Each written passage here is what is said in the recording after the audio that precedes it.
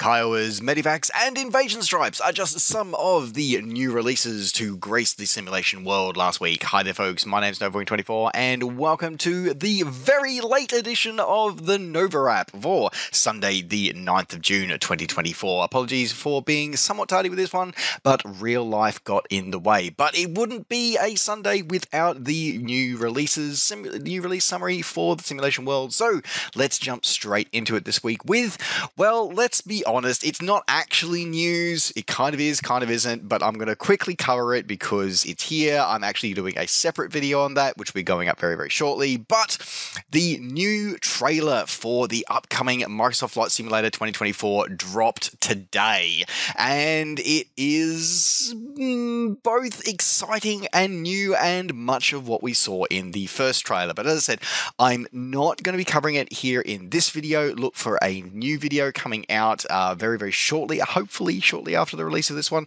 uh, where I will be going through it in a bit of detail and going about what we know and probably more importantly, what we don't know about it. So look for that video coming out very, very shortly. But that was, of course, released as part of the Xbox Game Showcase uh, done it this weekend and uh, is a kind of cool and is great to see. But the probably the biggest news to come out of that announcement was the fact that we now have a release date. We have a set in, well, I would say set in stone release date, but you know what? We'll we'll take that with a grain of salt at the moment. And of course, the 19th of November 2024. So we've only got a few months to go before we will have the latest iteration of Flight Simulator in our virtual hands. As I said, for more information, head over to flightsimulator.com. Now, on with with the actual release news for this week, and of course, starting with Microsoft Flight Simulator and the release of their famous Flyer 9, a double pack of the release of the C47D Skytrain and Waco CG4 glider.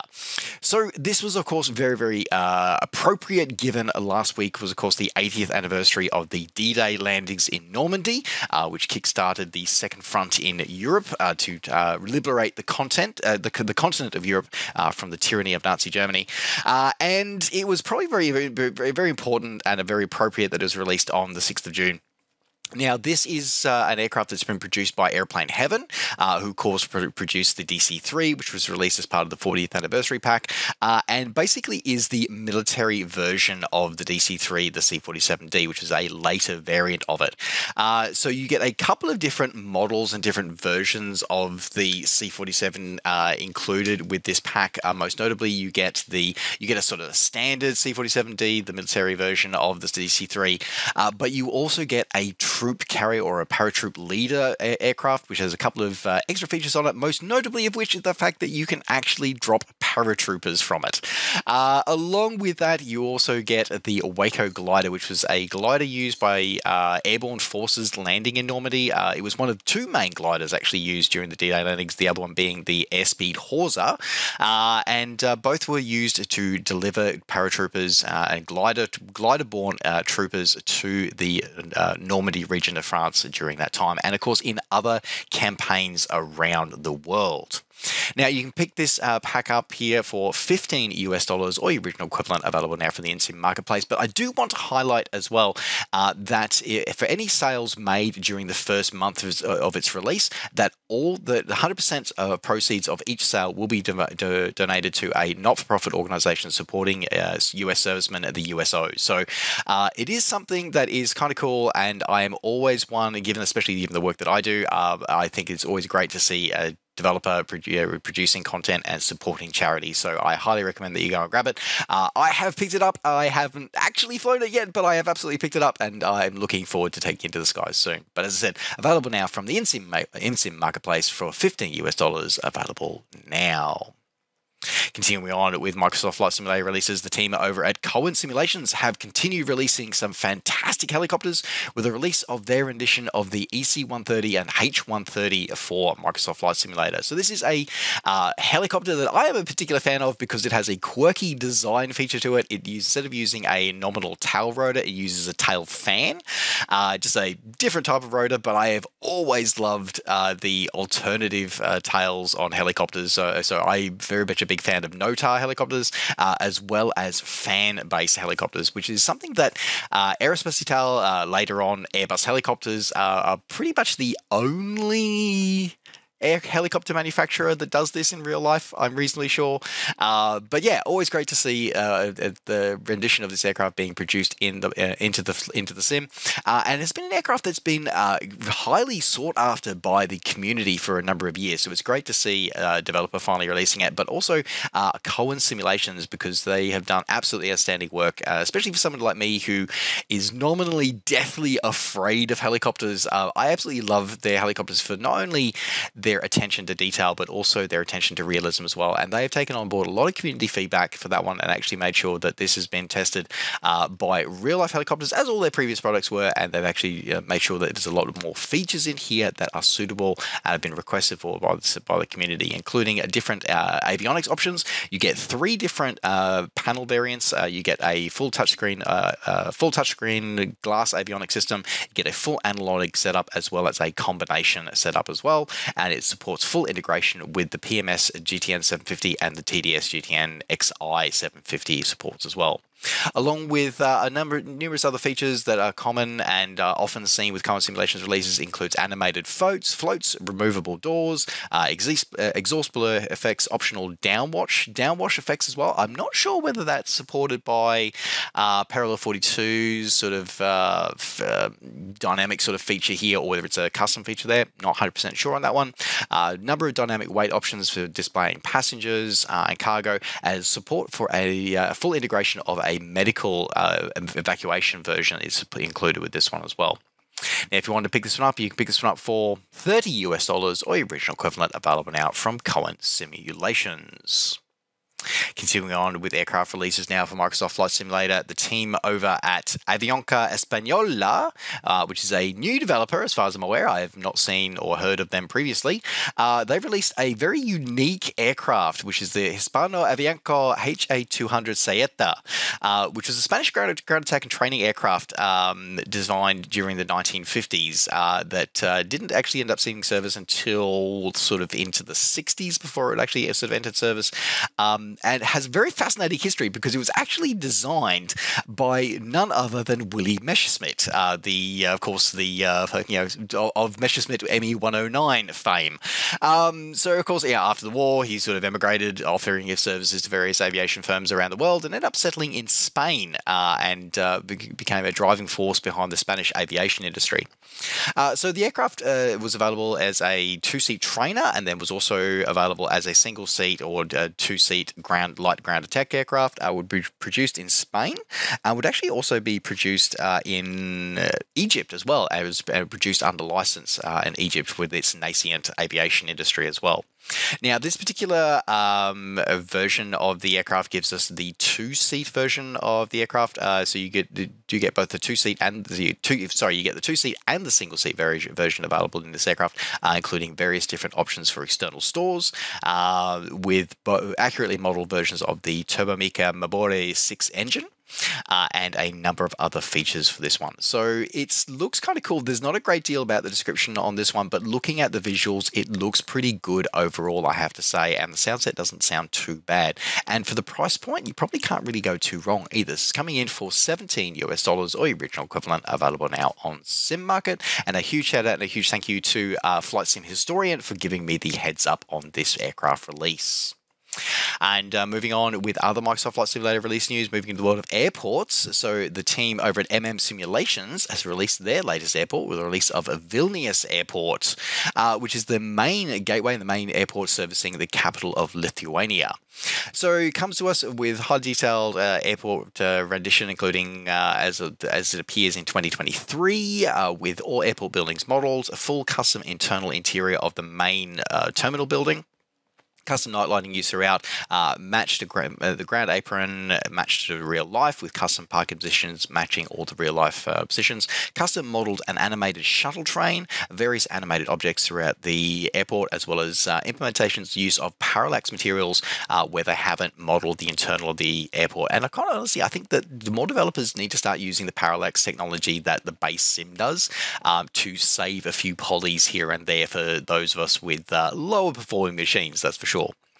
Now, if you want to pick this one up and add this one to your collection, you pick this one up for 20 US dollars or your original equivalent available now from iniBuilds. Rounding out the Microsoft Flight Simulator news this week, saw the release from the team over at SoFly with the release of a another interesting novel product from them, and this is the release of Eco Soundscapes for Microsoft Flight Simulator. Um, so this is interesting and something that I hadn't really thought of, but in, in a way it absolutely makes sense. So one of the things, of course, you know, in real life when you travel to whether it be travel to, you know, whether you're walking through a city, whether you're in a, you know, you've landed in a, you know, field in the middle of France, or whether you're, you know, sitting and kicking back over a cold one after landing your Kit Fox in the middle of the American deserts, um, the sound of the environment around you is very unique, whether that be caused by birds or insects or you know, you know weather sounds, whatever. Um, and that's something that, funnily enough, the flight simulator doesn't do that well. It, it, it is, yeah, the wind sounds are pretty good, but they're pretty consistent around the place. But the actual sounds of nature are generally not there. Um, this is an add on that attempts to address that. And it's something that I hadn't really thought of, especially as somebody, for, for me, that is somebody who enjoys, you know, bush flying and flying to regional remote areas. Um, this is something that would genuinely enhance my sim experience. It is absolutely something that I never would have thought of, but now that it's been released, I'm, I'm kind of like, this makes so much sense, and that's so cool. Now, is it going to be for everybody? Absolutely not. Um, if you are a tube liner flyer and all you ever do is fly from one airport to another, this is not going to be for you. I can pretty much guarantee it. However, if for any of our rotary winged family, for any of our bush flying family, this is absolutely something that you should at least look at, I think. And uh, yeah, I think it kind of is kind of interesting. And as I said, something that I absolutely didn't think of. Now, having said that, I think that the price point for it is way too high. Um, so this is coming in at 25 US dollars. So, um, look, don't get me wrong. As I said, I think this is a fantastic idea. I think this is great. I'm just questioning the price point. I and again, I never question anybody. You know, all developers should be paid uh, for the hard work they put in. But I'm kind of questioning the, the the, the scale, of the price point. That's it. But they, having said that, they are offering, you know, you know continually offering um, updates uh, from themselves as well as compatibility with other third-party add-ons. So it is kind of cool, kind of interesting. I just wonder about the price point. That's the only thing that I have. Anyway, so if you want to add this one to your experience, you can pick this one up for 25 US dollars or your original equivalent available now from Orbx Direct. Moving on from Microsoft Flight Simulator now and rounding out the uh, simulation release news this week, the team over at Polychop Simulations released their long talked about and long awaited OH58D Kiowa Warrior for Digital Combat Simulator. And in a surprise move, and very unlike anything else in DCS, this did not release into early access. This is a day one version 1.0 full release, and not gonna I am absolutely stunned. Um, and really, really surprised and also really, really happy. Um, so Polychop have actually always said, now to, to, be fair to Polychop, they have always said that you know, when they, they would not release the Kiowa Warrior until it was released as a final product.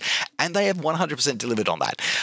Obviously, it was a little bit later than the community would have liked, but you know what? I'm kind of happy the fact that you know they've taken the time to actually make sure that it's right without having to go through an early access period.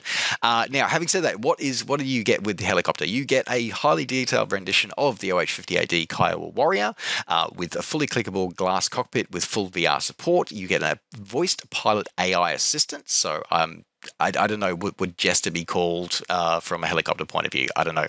Road ahead? I don't know. Anyway, uh, you get full, you get a full uh, modeled armament and weapon systems, including a number of machine guns, uh, Hellfires, and air-to-air and Stinger air-to-air missiles, as well as a handheld M4 rifle for use with VR hand controllers. I have questions. I really do. Not sure I want the answers. Anyway, uh, number of sensors including uh, TV and FLIR, uh, TV, mast-mounted sight and TV and FLIR cameras, la- laser range rangefinder designation systems, radar detectors, infrared jammers, laser detectors, and common missile warning systems, an accurately modeled and functional flare and chaff dispenser. Uh, huge number of fe- uh, features included with this one, as well as over 60, 60 liveries being released, at, uh, being included at release. So if you wanted to pick this one up, you can pick this one up for 70 US dollars or original equivalent available now from the DCS store. And with that, folks, that does now round out the Nova Wrap for this week. Thank you very much for joining me. Don't forget, as a bit of a reminder, that Flight Sim Expo is coming up in just a couple of weeks' time. So if you're going to be there, don't forget that myself and not only just myself, but all of the three Grumpy Simmers will be in attendance. So I'm looking forward to meeting many of you at this exciting community-driven expo uh, in North America here over in Las Vegas this year. So hopefully I will see you there. And if not, don't forget that you can, if you are unable to reach the, the event in person, don't forget that the many of the events will be broadcast live and available for a virtual attendance with a virtual ticket. Uh, head over to Flight Sim Expo's website for more details. Link in the description down below. And with that, folks, I just want to say thank you very much for watching. Don't forget, as always, to like the video and subscribe to the channel if you enjoyed these videos and wanted to see more. And of course, as always, you can catch up with me and all the things I'm up to between videos. Just uh, follow me on Facebook and on Twitter and on Twitch. Just search NovaWing24. All right, folks, thanks very much for watching. Take care, safe skies to all, and we'll see you next time. Bye for now.